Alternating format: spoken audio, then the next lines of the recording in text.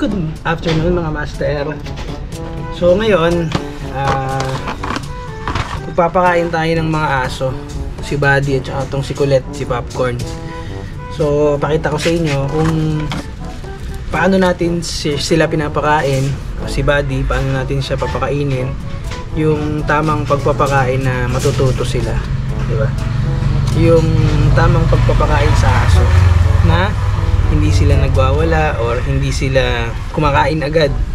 Kasi usually 'di ba sa mga aso, ang nangyayari pag binaba mo yung pagkain, sinusunggaban agad, kinakain agad. So tinuturuan natin sila o si Buddy, marunong na to si Buddy eh. Tinuturuan natin na kung paano maging uh, kumain ng tama na hindi agad kinakain. Ah, na pagpapakain yung routine na pagpapakain. Ito yung makulit eh. Oh. Mm, Ito oh, ito, kulit-kulit. So, ayun, turuan natin to si Popcorn. Dito marunong eh. Si Buddy medyo marunong na kung ano yung tama. So, pakita ko sa inyo yung kahit iwan mo yung pagkain sa harap niya hanggat di mo sinasabing kainin, hindi niya kakainin. So, marami naman ang nakakagawa nito, yung magagaling na mga nagtitrain ng aso. So, tayo naman amateur lang sa pag-aaso. Pero nagawa naman natin yun. So, pakainin natin sila. So, ito yung pagkain nila. Yan, top breed na pang-adult. Mura lang siya, pero okay naman, kinakain nila. Masarap naman para sa kanila yan. So, yan. Top breed. So, hindi to sponsorship, pero yan yung pinapakain natin kay Buddy, pati dito kay Popcorn. Si Popcorn, marunong na rin kumain ng dog food eh. So, ano? Ayun o, makakulit oh. Ito si Popcorn, pagka inabutan mo ito ng tinapay, hindi niya kakainin, aabutin niya pero hindi niya kakainin. Ang gagawin niya, kukunin niya sa bibig niya, pupunta siya sa malayo, maghanap siya ng lupa, ibabaon niya yung tinapay. Ganyan siya. Bakit ka ba ganyan, popcorn? Ha? Bakit ka ganon? Hand, shake hand. Kamay mo, kamay. Kamay, kamay, kamay. Hindi siya marunong. So, yun si Buddy. Tara, bigyan na natin. Popcorn? Ito mo. Ganito yung aso. Sa hindi marunong. Kasi ito si Popcorn, hindi na ito natutunan. Pag binaba mo, kinakain agad, di ba? Yan yan yung typical ng mga aso pag hindi siya na-train. Okay. So yan, si Popcorn, ito yung typical na aso na kapag ah, binaba mo yung pagkain, kain agad, sunggab agad, di ba? Pag hindi naturuan ng aso, kinakain agad. Pag binaba mo, kakainin agad. Ma- Pero si Buddy, pakita ko sa inyo si Buddy. So yan si Buddy, di ba? Hindi niya kakainin yan hanggat di ko sinasabing kainin niya yan. Kahit maghintay siya ng ilang oras, maghihintay siya hanggat di ko sinasabot. Buddy, eye contact. Good boy. Buddy, shake hands. Good boy. Kabila. Kabila. Good boy. Saglit lang ha. Huwag mong kakainin yan. Oh. Nag kahit naglalaway na yan, hindi niya yung kakainin kahit iwan ko ng matagal yan dyan. Oh. Eye contact. Shake hands. Good boy. Kabila. Good boy. Huwag mo yung kakainin hanggat di ko sinasabi. Okay? Kahit yan tumutulo laway niyan, hindi niya babanatan yan. No?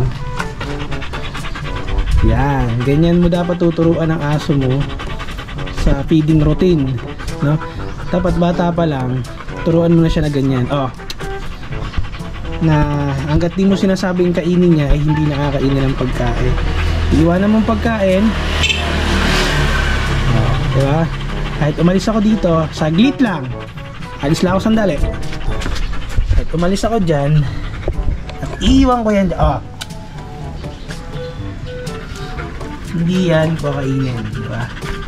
So, buddy, down, down, down, oh, down, down. Good boy. Oh. Good boy. Good boy. Oh. Up. Sandali lang. Oh. Huwag mo munang kakainin. Sandali lang. Buddy. Buddy, eye contact. Look. Boy. Ganyan siya. Pag ang aso naturuan ng proper feeding routine, so hindi naman tayo professional na magturo ng aso. So based lang sa experience natin. Hanggang dyan na muna ang vlog natin. So next vlog, turuan natin siya na kung paano mag-walk ng maayos, kung paano maglakad na hindi siya nang hihila. So hanggang dyan na muna vlog natin tungkol sa kung paano pakainin ng aso ng tama na hindi siya agad sumusunggab sa pagkain. Diba? Usually kasi ganun yung nangyayari. Pero pag ang aso naturuan natin habang bata pa na iniiwan natin yung pagkain sa harap niya at sinasaway natin na huwag niyang kainin, hindi niya yung kakainin. Hanggang sa matutunan niya yon, pumasok sa isip niya na hanggat di binibigyan ng ng ah, binibigay ng alpa ko o ng amo ko yun, yung ah, command para kainin ko, hindi ko kakainin. Diba? Nas natutunan niya yan, bata pa lang. Sa lumaki siya, ganun yung ginagawa sa, namin sa kanya. Kaya hanggang ngayon na malaki na siya, kahit iwanan mo ng pagkain hanggat di mo sinasabing kainin niya, hindi niya kakainin yan kahit naglalaway. At gutom na gutom na yan. So huwag niyo palang kakalimutan na ah, mag-follow at ah, mag-likes and comments doon sa page na The Vibes. So andun yung mga gagandang mga shorts na ah, binibenta nila so ito yung The Vibes ayan so mag-visit kayo sa page nila tignan nyo napakaganda mga shorts yan at iba't iba pa na mga damit na ipopost nila mga shorts Ganyan ang vlog natin. Hanggang sa muli mga kasama at mga master. Bye-bye!